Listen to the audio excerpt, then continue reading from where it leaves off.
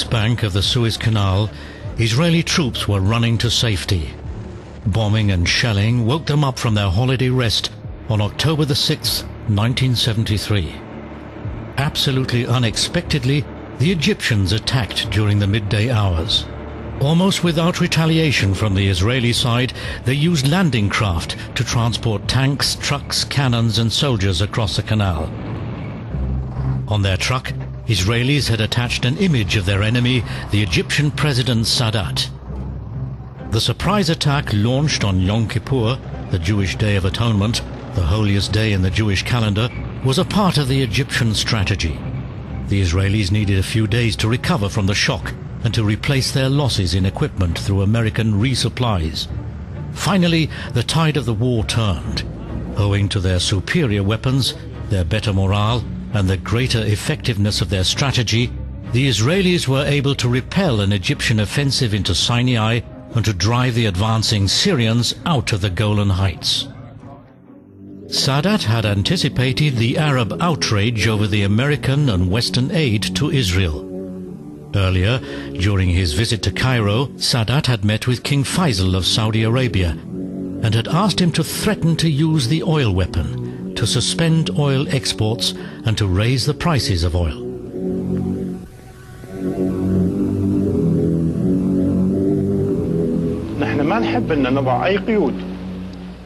We do not wish to place any restrictions on our oil export to the United States, but as I mentioned, America's complete support of Zionism against the Arabs makes it extremely difficult for us to continue to supply the United States petroleum needs and to even maintain our friendly relations with the United States. King Faisal announced the oil embargo in November 1973. The use of the oil weapon proved unusually effective. In the USA and in Europe, the embargo caused massive shortages of oil and gas, which led to a fourfold increase in the prices of oil. Also in Germany, car-free Sundays were implemented.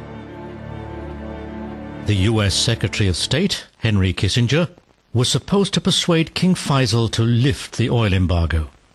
No, I had extremely high regard for King Faisal. He was one of the outstanding leaders in the Middle East at that period.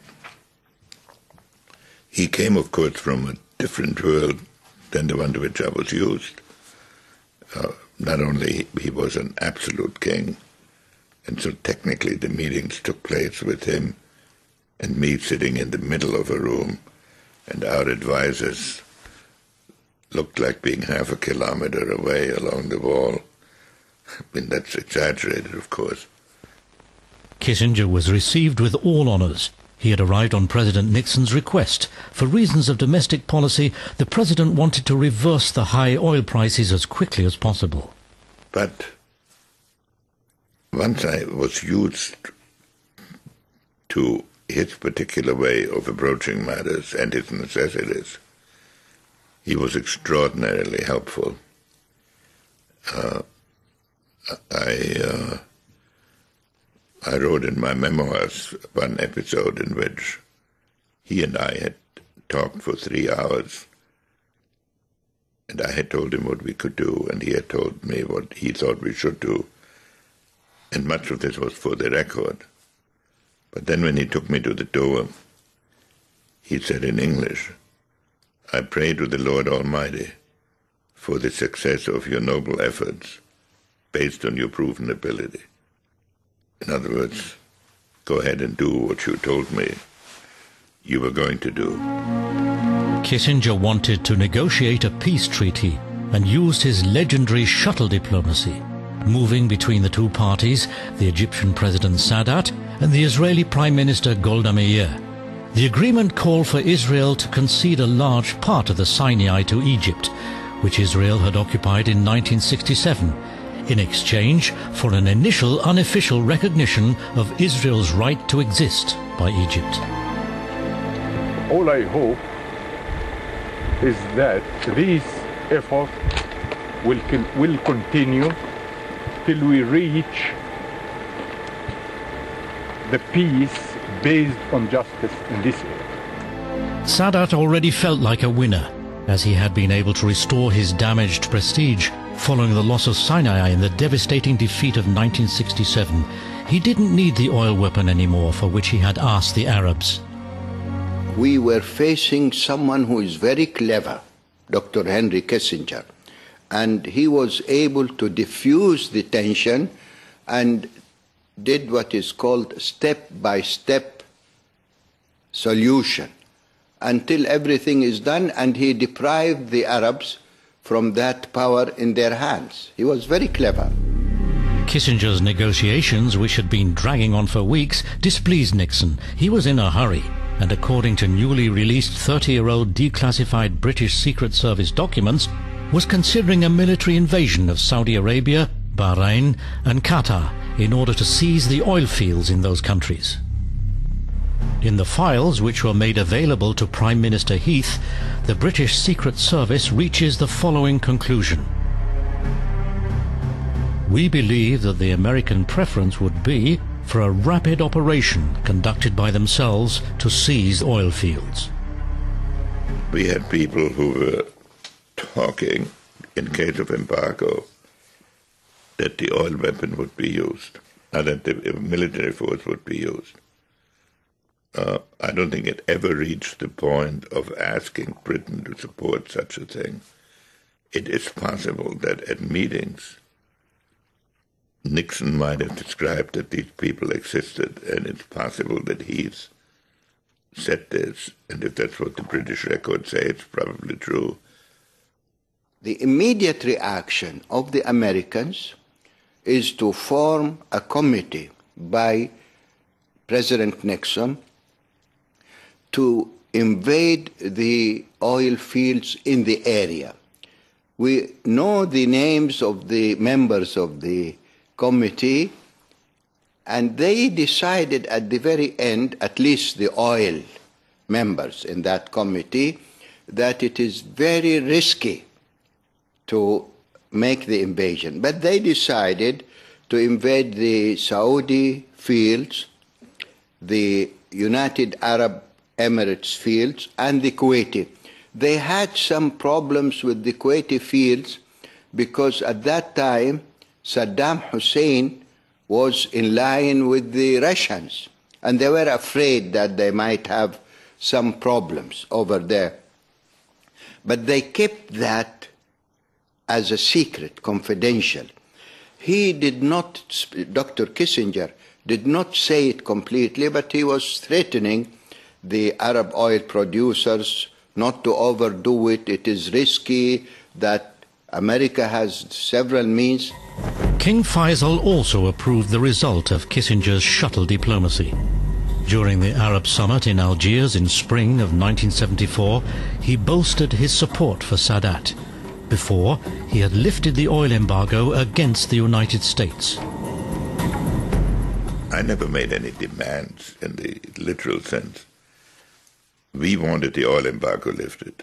Was actually, in retrospect, a silly demand because oil being fungible, uh, we didn't need the oil from Saudi Arabia. We could buy it elsewhere, and and then others could pick up the Saudi oil that we would normally have received.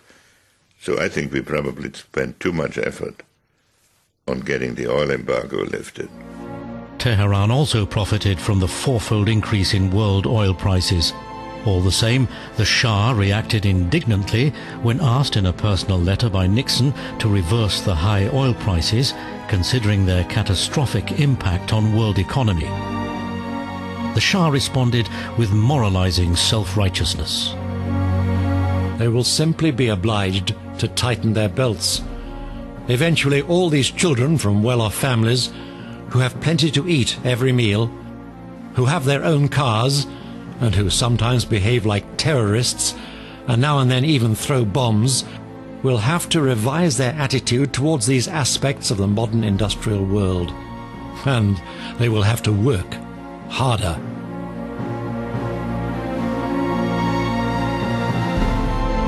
Due to Iran's oil boom during the 1970s, Tehran became a sprawling metropolis with a population in the millions, undergoing rapid growth in population and a frenzy of high-rise construction. A hint of shabbiness and the old-fashioned, domestically manufactured automobiles have a faded charm that is reminiscent of Eastern European cities. The Shah could have done more for his country had he not, like the Saudis, spent a large portion of the oil revenues to finance arms purchases of hundreds of American-made fighter aircrafts, including the most modern Phantom jet fighters, of thousands of British-made Chieftain tanks, and of investing into a new navy in an attempt to extend his role as the local gendarme in the Gulf, also over the Indian Ocean. Saudi Arabia now became really rich. Even the people were able to share in the nation's oil blessing. The symbol of this was the Datsun pickup, the top-selling car at the time. It's cheaper to maintain a Datsun than to keep a camel, the saying went. The capital city, Riyadh, quickly developed into a boom town with wide streets adapted for the growing automobile traffic, modelled on a distinct American-style city, a Dallas in the desert. The image of Saudi Arabia was equal to that of a colourful and strong tree in a film made by the oil company Aramco. Workers posing in front of an oil tank. They're now regarded as a new social class, but they're not allowed to organize themselves.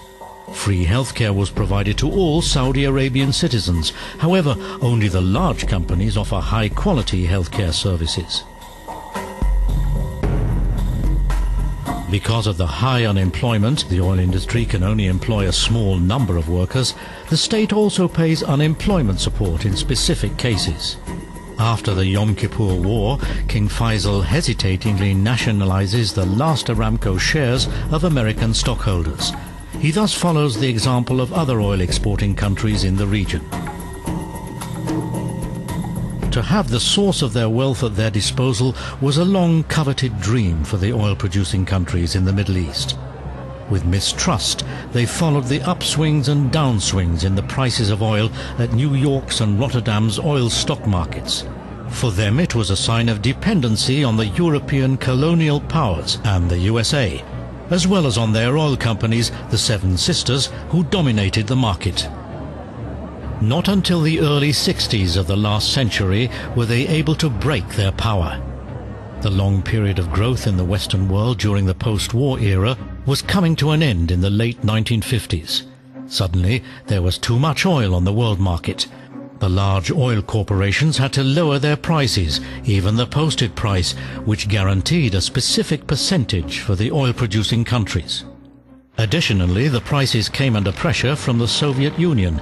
Showing an appetite for foreign currency, the Soviet Union had doubled its oil production between 1955 and 1960, owing to the opening up of new oil fields in Siberia, and thereby flooding the market with cheap oil. A 7% reduction of the posted prices for Mid-Eastern oil without any consultation especially outraged the government in Saudi Arabia. She found support in distant Venezuela. The idea for resistance, however, stemmed from a clever woman, Wanda Jablonski, a Czech oil journalist living in Cairo. She arranged a meeting in Cairo between the two most powerful oil ministers of the time, Abdullah Tariki from Riyadh, who wanted to expel the American oil companies from Saudi Arabia, and Juan Pablo Alfonzo from Venezuela, who was not a friend of the Americans either, to convince them of the need for an organization of oil producers. Both acted quickly. In September 1960, Saudi Arabia, Venezuela, Kuwait, as well as Iran and Iraq agreed in Baghdad to found the Organization of Petroleum-Producing Countries.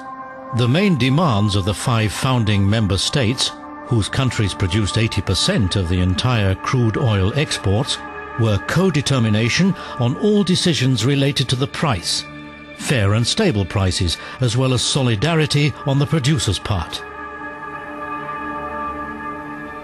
Resolution by OPEC, it is to stabilize the price of oil, 1960. Later on, the, some OPEC member countries went up to their head and they pushed the price up because they can make more income, more revenues. The rising prices of oil had also gone to the Shah's head. He wanted more. Even from a skiing vacation in St. Moritz, he intervened in price negotiations with brusque demands. He believed that the Americans owed him, the advocate of their interests in the Gulf, higher prices. The Saudis were angered over the irksome rival. They wanted to observe the law of supply and demand. Nevertheless, they were also trying to slightly manipulate the market mechanism. Production quotas were supposed to cut short the supply in the interest of increasing prices. The Shah, like others too, did not observe the quotas. It went up to their head. OPEC, they don't know what they want. They're becoming very greedy. The regular conferences of the OPEC oil ministers unfolded into a haggling over oil prices which they jointly wanted to impose on the oil companies. Saudi Arabia, as the largest producer country, was not always able to dictate the prices. The green flag of Saudi Arabia with the sword and a saying from the Quran announces King Faisal's visit to Washington, D.C. After the revocation of the oil weapon, he was a welcome and highly respected guest in the USA. Faisal was seen as a guarantor of stable oil prices and a reliable US ally in the Arab world.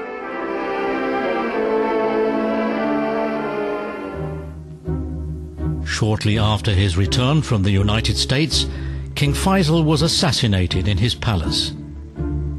Deeply affected by King Faisal's death, a grand procession of mourners, including President Sadat and an array of Western statesmen, escorted the king's casket for an unadorned Islamic funeral. The king was murdered by a nephew from the large cohort of royal princes. Was he insane, as officially proclaimed, or was he an extremist? The deed raised many questions regarding the inner state of the kingdom. At the end of 1979, tensions in the country broke out again on November the 20th, 1979, 500 militant Saudi Islamists stormed the Grand Mosque in Mecca and took hundreds of pilgrims hostage. The religious scholars had to approve of the help of French special security forces to overpower the terrorists, as the bearing of arms inside the mosque was prohibited. The leader, a militant Islamist, accused the Saud family of corruption, of oppression of the people, of westernization, and of close ties to the American infidels. He demanded a return to the pious ways of the forefathers. He and 68 other terrorists were executed.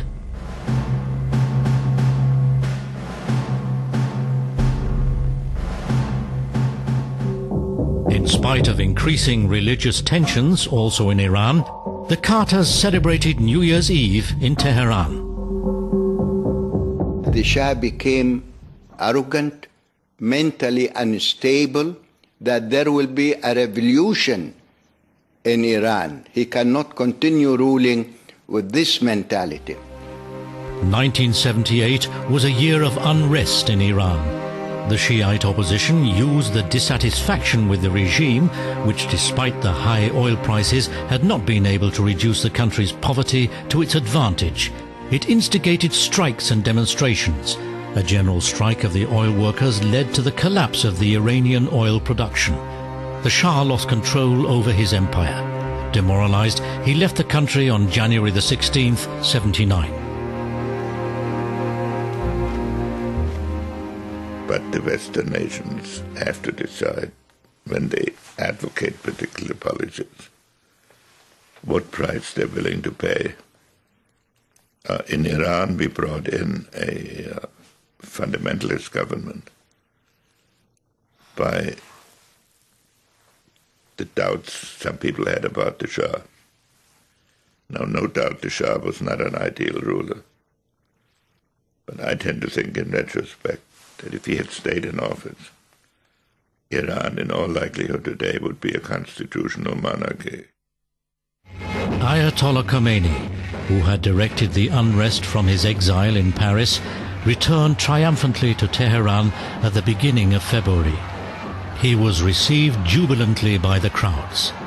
The Islamic Revolution had won. Almost all groups within the population hoped that the revolution would bring about an improvement of their living conditions. No, Khomeini wanted no democracy. He merely wanted a form of democracy that allowed him to exercise all power. I believe Khomeini harmed himself in being a despotic ruler. In Tehran, the new rulers opened the central prison of the Savak, the notorious and dreaded secret police of the Shah, for a tour by the international press. A mock demonstration of Savak's routine torture methods was given. Forms of torture included whipping on the soles of the feet, day-long standing at the wall, and the tearing out of fingernails. During that time, I was tortured with beatings and electroshocks on nine different parts of my body. They tormented me as well as torturing me with electroshocks. A short time later, the prisons are filled again, this time with prisoners of the Mullah regime. The frightened family members are lined up as before, hoping for information about the victims.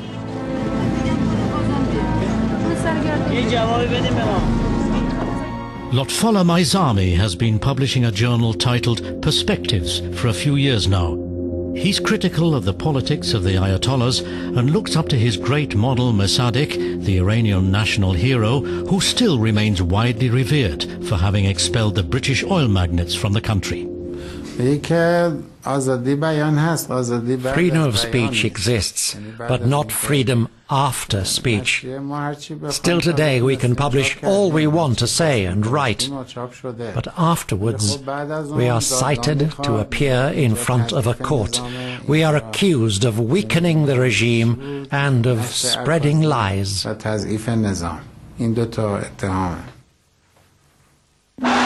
Despite disappointments with his Islamic theocracy, Khomeini remained popular. His leading executioner, Ayatollah Khalkhali, on the other hand, was hated. At the beginning of the regime, he had ordered executions of thousands of people. Among his victims were co-workers of the Shah, dissidents and infidels, as well as homosexuals, drug addicts and prostitutes. We had never imagined that Khomeini would turn against his own people with weapons. Khomeini proved that he was not only capable of turning weapons on the people, but also that he was willing to accept the killing of innocent people. At the beginning, in the prisons, 50 people were executed every night. Later, the number rose to 300 or 400. On November the 4th, 1979, a group of militant university students stormed the American embassy in Tehran, taking 62 members of the embassy hostage. They were held prisoner for 444 days. Khomeini needed an enemy to justify his tyranny. None was more obvious for him than the great Satan, the USA, who had now even admitted the Shah for medical treatment of cancer. We called almost anyone we could think of I personally called the foreign ministry, I called the prime minister's office, and that was a rather frustrating experience. I think it was the foreign ministry or that I called and I was talking to a secretary there, a, wom- uh, a woman, and I explained the situation and I explained that if someone did not take decisive action quickly, uh, they, there could be bloodshed and that they would be responsible for the, for the consequences. Well, before I could, ta- I could get any farther, she interrupted me. She asked me about the passports they had sent over for visas and said, Are those visas ready?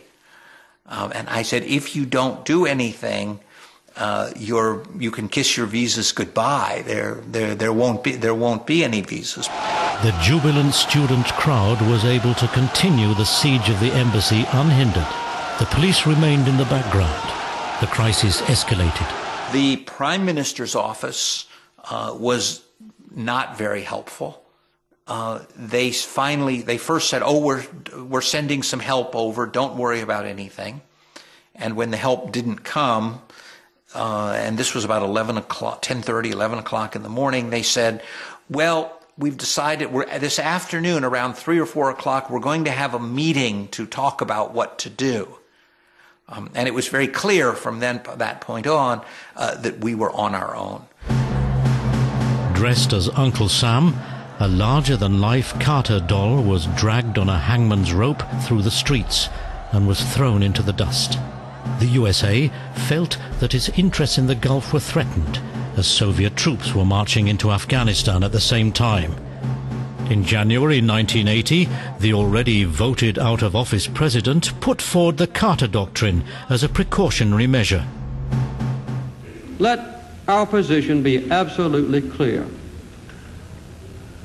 An attempt by any outside force to gain control of the Persian Gulf region will be regarded as an assault on the vital interests of the United States of America, and such an assault will be repelled by any means necessary, including military force. After their release on January the 20th, 1981, on the day of President Reagan's inauguration, the hostages returned to Washington, D.C. via Algiers. A happy John Limbert was among them. It may be, for all I know, but I've never seen any documentation, documents, or anything prove, uh, proving that. But after this time, you know, after all this time, that that story is still very much very much out there. The other, I mean, it's a fact that we did not leave Tehran uh, until about half an hour after um, President Carter left off uh, uh, left office. Uh, there was whether that was the result of a deal or whether that was simply that the people holding us had a particular dislike for Carter. I mean, a real reservoir of hatred for and resentment for him, and this was kind of a last insult uh, to him. Um, I suspect the latter, but I can't be sure. The rumors that Reagan had negotiated the release of the hostages with the secret promise of arms sales to Iran can hardly be verified, as documents relating to the affair, along with the later illegal Iran-Contra affair files, were destroyed by Reagan administration officials. At the beginning of 1981, Iran had already been fighting a war with Iraq for a few months, Saddam Hussein attacked Iran as he had an eye on the oil-rich Iranian border regions along the Shatt al-Arab waterway. What's more, he hated and feared Khomeini because of his influence over the Shiites in Iraq. He believed that he would be able to overthrow the still chaotic Ayatollah regime in a bi-weekly blitzkrieg. His tank units were able to rapidly capture the port city of Khorramshahr, close to the border. But Saddam Hussein had miscalculated. Iranians were able to maintain their position after the first onslaught. They recaptured Khorramshahr and immediately launched a counteroffensive. They were, however, too weak to conquer Iraq.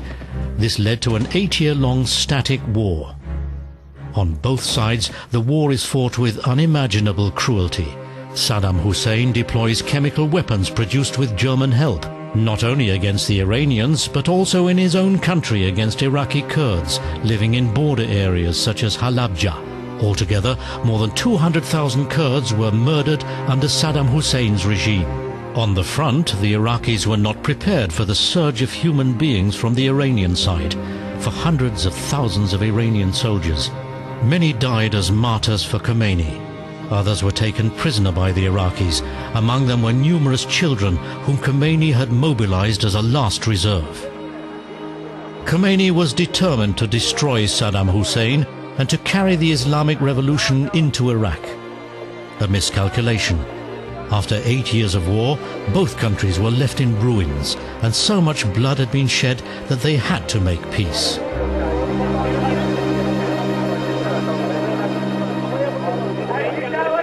Khomeini's messianic figure also encouraged the large Shiite minority in Saudi Arabia, in the oil province on the east coast, at the end of 1979 to rebel and protest against discrimination at the hands of the Wahhabis. The unrest was quelled with the use of force. it was very peaceful. Actually, many of, of, of the Shiites were killed in, that, uh, in those demonstrations, but was peaceful. Shiites in Dammam were not allowed to build their own mosques and schools. Aramco considered them unreliable and pro-Khomeini and thus refused to employ them. Aramco is especially a high-security closed society. Out of consideration for the oil fields and peace in the country, Riyadh in the end had no other choice than to gradually improve the living conditions of the Shiites. We, we used to be the majority employees in Aramco. So they said uh, they were afraid those people might be loyal to another country and they are the majority in Aramco, so it is uh, dangerous. So we have to, they made a decision to stop employing them to reduce the percentage of the Shiites in Aramco. During the Iran-Iraq war, Tehran time and again stirred Shiite unrests, especially during the annual pilgrimages to Mecca. It did not recognize the Saudi dominance over the holy sites of Mecca and Medina. In July 1987, an especially high number of Iranian pilgrims took to the streets of Mecca, carrying Khomeini and anti-Saudi banners. The Saudi security forces acted brutally and ruthlessly towards the demonstrators. According to unofficial statements, 400 Iranians were killed. On both sides, there was also a political motive for their actions. Tehran was outraged over Riyadh's financial aid to its enemy, Saddam Hussein. Riyadh sided with Iraq because it was afraid of Iran's aspirations to supremacy in the Gulf. In Tehran, there were public mourning rallies. There, the former Iranian president, Rafsanjani, spoke of the royal family in Riyadh as an evil clique and of the Saudis as Wahhabi hooligans. But Saudi Arabia had no peace. In 1982, King Fahd ascended to the throne during difficult times. The king, who was generally considered a liberal reformist, reacted to the incidents between militant Islamists and the Shiites with a renunciation of reform steps. The sinking oil prices in the 1980s let the national budget slip in the red and lowered the revenues. The wealthy royal dynasty was once again met with criticism by the Wahhabi clergy. The escape into foreign affairs could distract the agitators. The king financed the fighting of the Mujahideen in Afghanistan and the Saudi Islamic extremist participation in the jihad against the Soviet Union. The attempt of the Soviets to support the pro-communist regime in Kabul and to contain the advance of Islamic fundamentalism in order to prevent it from spreading to the Muslims in the south of Russia threatened to fail due to the inability of the invading army to cope with the guerrillas at the Hindu Kush.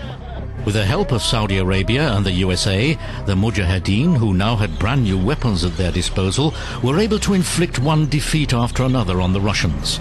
This policy was of additional advantage for King Fahd. He was able to assign a mission in Afghanistan to Osama bin Laden, who was becoming dangerous to the royal dynasty at home and who had therefore been stripped of citizenship.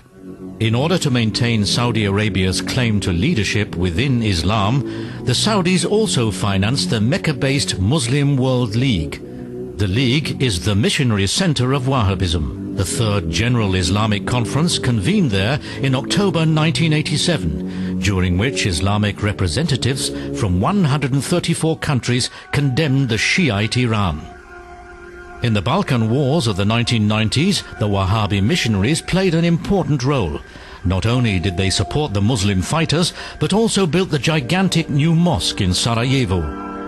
As 11 years before, during the revolt in Mecca, King Fahd once again needed the support of the Wahhabis for a fatwa, a religious justification. He asked for American help against Saddam Hussein's invasion of Kuwait. The top Wahhabis noted that while it is true that Americans were infidels, in this case, however, they were defending Islam in the kingdom. For decades, Sheikh Abdul Aziz bin Baz was the supreme religious authority of the Wahhabis, and thus the most powerful man after the king. Only one single photo exists of him. The Iraqi attack on Kuwait in summer of 1990 came as a complete surprise to the ruling dynasty. They were afraid Saddam Hussein was not only after Kuwaiti oil, but was also planning to invade the bordering oil-rich Saudi Arabian eastern province. Saudi Arabia felt ill-equipped to handle a Gulf war at its front door. Very soon, 200,000 American male and female soldiers were stationed in the country. King Fahd was aware of the risks of his policy. Even Crown Prince Abdullah, the present king, was against it, fearing the Wahhabi hatred of America. President Bush, however, was determined to thwart access to the Kuwaiti oil by the dictator in Baghdad. Most Americans know instinctively why we are in the Gulf. They know we had to stop Saddam now, not later. They know that this brutal dictator will do anything, will use any weapon, will commit any outrage, no matter how many innocents suffer. They know we must make sure that control of the world's oil resources does not fall into his hands, only to finance further aggression. With the Operation Desert Storm, Americans unleashed their superior military machinery. Bombs and missiles hailed down on Baghdad. Fighter aircrafts and tanks crushed the Iraqi ground troops in the Kuwaiti desert. The strict Wahhabis saw their fears confirmed that infidels corrupt the morals of the people. The driving ban for women had to be confirmed by a fatwa from the religious scholars. The American presence in the country strengthened those who stood for reforms in the political and religious systems. Female American soldiers behind the wheels of military and private vehicles made many Saudi women aware of their disenfranchisement. On November the 6th, 1990, 50 educated women drove their cars in the streets of Riyadh in a protest rally against the driving ban. During that time, the Kuwaiti women came in and they were driving. And uh, enlisted women in the army, in the American army, were driving. And if somebody talks to them and says to them, listen, you know, the Saudi women are, Saudi uh, women are not uh, allowed to drive here, they would say, they would just push them away and they say, just leave us alone. We, are, we don't care about your rules and regulations. Uh, for us, some activists, women who are, you know, very, came very spontaneously together. We were not a political movement. We are not, you know, uh, an organized uh, group. We came together very spontaneously because we saw this is happening. And we said, okay, I mean, this is an opportunity for us to protest and to say, you know, we want our rights to be activated. We don't want this uh, gap between the rights of women. We don't want to the injustice or the prejudice against women. So we took the driving uh, uh, uh, driving aspect as a symbol symbol for everything that we wanted to change in our situation and in our positions. So we drove because the, the uh, it was fluid at that time. You know, women were driving, and we said, okay, if, they, if foreign women can drive, then we can drive. And we went out into the street, yes, and we drove in protest. The inhabitants of Riyadh depend on their car, as there is hardly any public transportation. During rush hour traffic, the traffic is as dense as in major western cities and is often congested. The people who attacked us more on the street were not the police or the you know the uh, the people you know from the police uh, police departments. Uh, the actually the fundamentalists, you know, the people who are um, their thinking is extremist. They are the ones who heard about it because we were driving for about 45 minutes. And they heard about it and they came from all over the Riyadh and they started attacking the, the, the cars and the people in the car. And some of us, some of the women were pushed, some of us were spat upon, you know, some of us were really manhandled. It was very bad. The police were a lot more gentle and a lot more, uh, you know, we, we wanted to be you know, caught by the police, but not by the fundamentalists. And uh, they took us to the police station, and we stayed there. They, of course, it was not a very long time, and it was not major. But when we came back out, the next day, I think 24 hours later, we were all um, fired from our jobs. All of us were fired from our jobs. And then, you know, a huge campaign of uh, really, how can I say, hate started and within the society. They called us names and they said that we are, you know, against Islamic values, against traditional values, that we are, you know, maybe, you know, wayward. We're not, you know, we're not uh, nice people. That's what they said. They said bad, bad things about us. And we were out to, and our passport was also confiscated. We couldn't travel for about a year or so. In the evening hours, the big shopping streets turn into a quasi amusement park for the jeunesse dorée, the youth from well to do families. The street is the only place where they can let off steam. Wahhabis do not allow cinemas. Cafes and restaurants are a male-only domain, inaccessible to women without their male escort.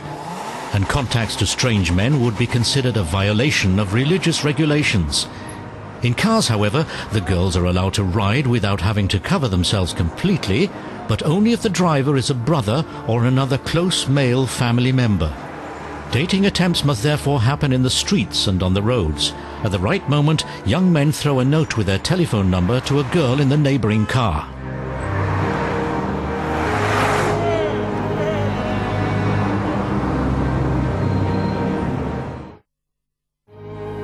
Saudi Arabia is an absolute monarchy. There is no parliament. Since the year 1993, however, there is a Shura Council, the King's Advisory Council. Its 150 members are appointed by the king and belong to the upper class. We need more time to convince people seeing women driving her car in Saudi cities.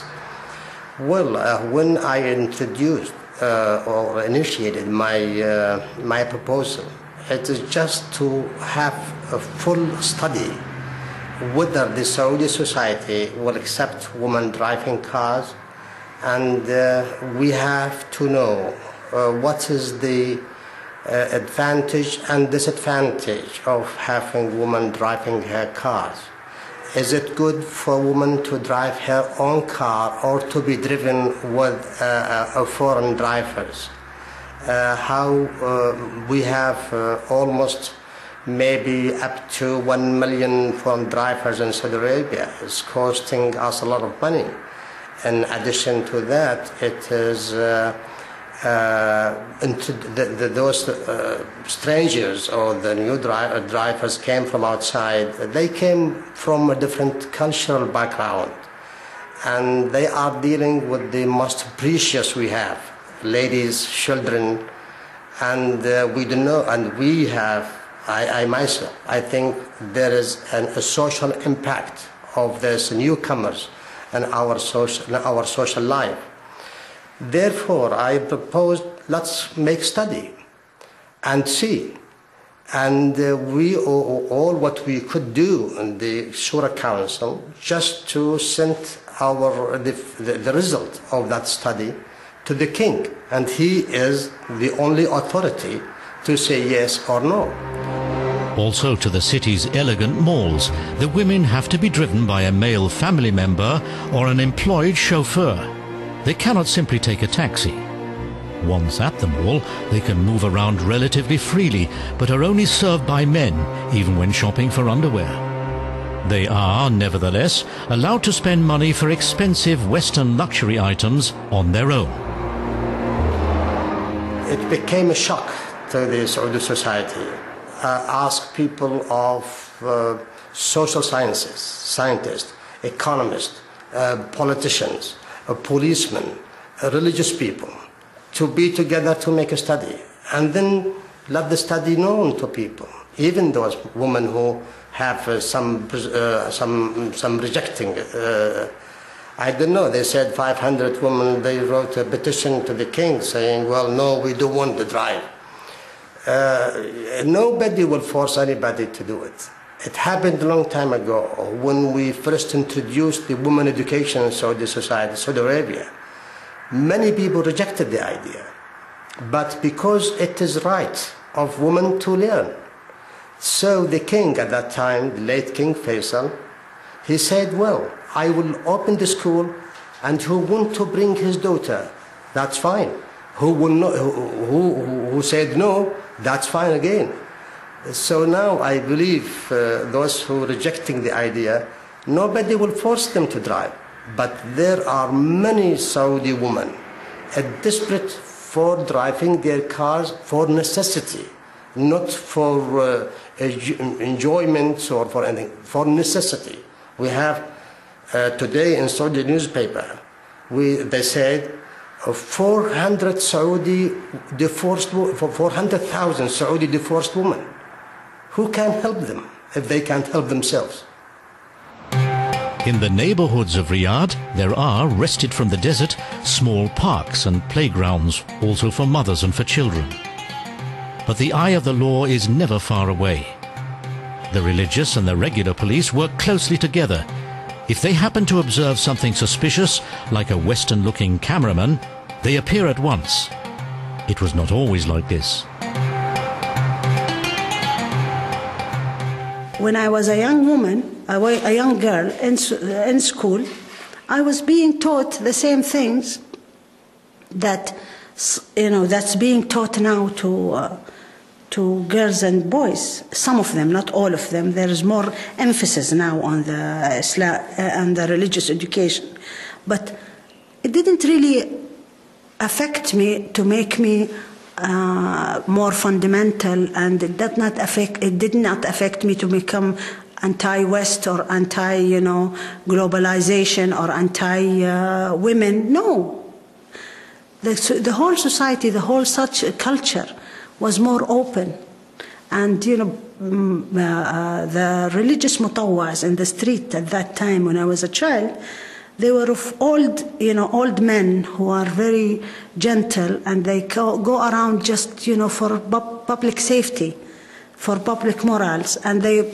actually, when I used to play in the street and they are there, I would feel safe if they are there when I was a child. But as, you know, things have actually ch changed and developed, we, the religious uh, mutawa'in, the religious police that are now, you know, around, uh, they go around, you know, the, the markets and the streets to, for public morality, they've become very extremist. They're very young and they're very violent.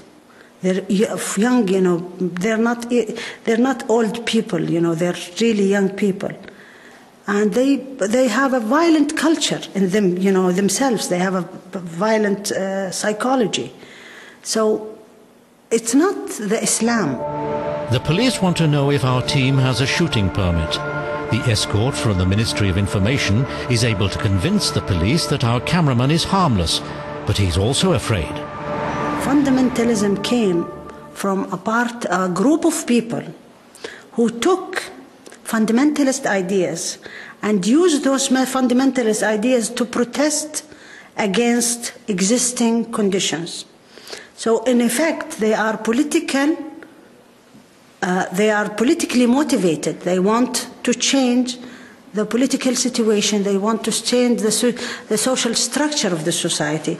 And they took the precepts of that is there. And they said look you know Saudi Arabia is not Islamic. We need to be more Islamic. And they and they carried the idea forward. For 30 years they've been carrying it forward and they're putting more stress and they're putting more um, close they're closing they're closing the ideology of Islam. They're becoming making it more restrictive the ideology is already taught in the schools. A high-ranking Wahhabi traditionally heads the Ministry of Education. Public schools are Quran schools with religious instruction as their primary focus. Boys and girls are separately prepared for their role in society. education about the world outside of Islam or the transmission of a more profession-oriented kind of knowledge hardly takes place. I, I would say that any man who is open minded and who is uh, concerned about the situation of women and who is actually um, fighting to restore her Islamic rights and to restore her position in society and to close the gender gap is a very, very exceptional man because there are so many privileges given to the Saudi man here that it is almost inhuman to say to them, please give it up. You know, it's like a king, you know, being told, please give up your kingdom. The King Fahd University in Dammam is the Harvard of Saudi Arabia. It's modern and well endowed. The country's elite is educated here, especially in the subjects of petroleum engineering and industrial management. The students are carefully selected. It's a male-only university. Women have no role here. There is a gender gap in the educational system. The women are not allowed, for instance, to study uh, engineering. They're not allowed to study, you know, certain parts of businesses. They're not supposed to go into geology, and they're not supposed to go into um, some of the professions that will actually make them work in the public arena and for women not be to be able to go to a major university like petroleum, uh, you know, the King Fahd University in uh, the Eastern Province. That's a big, a big, uh, um, what do you call it, uh, prejudice against women. The campus leaves a Western impression. Whoever studies here need not worry about their future. Here, the employment uh, the, the, the, students uh, here don't uh, face any problem in unemployment because this university is the best. So uh, the companies come to us. For many Saudis, life does not seem so rosy and optimistic. Not far away from the King Fahd University, the areas right and left of the main roads look abandoned and downtrodden for many kilometers. And even in the petroleum's capital city of Dammam, there are also poor quarters.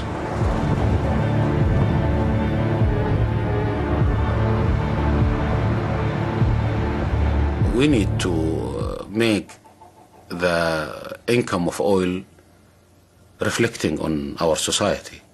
And I don't see it reflecting very well. We have a lot of poor, we have a lot of uh, families, they don't have their Uh, houses. We had a lot of uh, need uh, old and uh, handicapped people. They don't have uh, social security, and social security is still not well developed. There are they are trying to make it. in a proper way, but uh, I think there is a lot of responsibility on us by having that much income and I love to see that reflecting in all of the all the members of our society, and uh, we shouldn't have uh, poor people in this country. Saudi Arabia is a country of harsh contrasts, true to the motto, one step forward, one step back. This is nowhere more obvious than in the desert, which begins right behind the outskirts of Riyadh on a Friday, the Islamic holiday. On this day, many inhabitants are drawn outdoors for a picnic or for harmless entertainment, either for a camel ride as back in the days of the forefathers or for tournaments in skillfulness with quads that can be rented everywhere, an especially popular activity with male adolescents. If only in passing, the prayer times are still observed, but the mosques are far away. The country appears torn between the past and the future. And the fight for oil continues at the same time next week.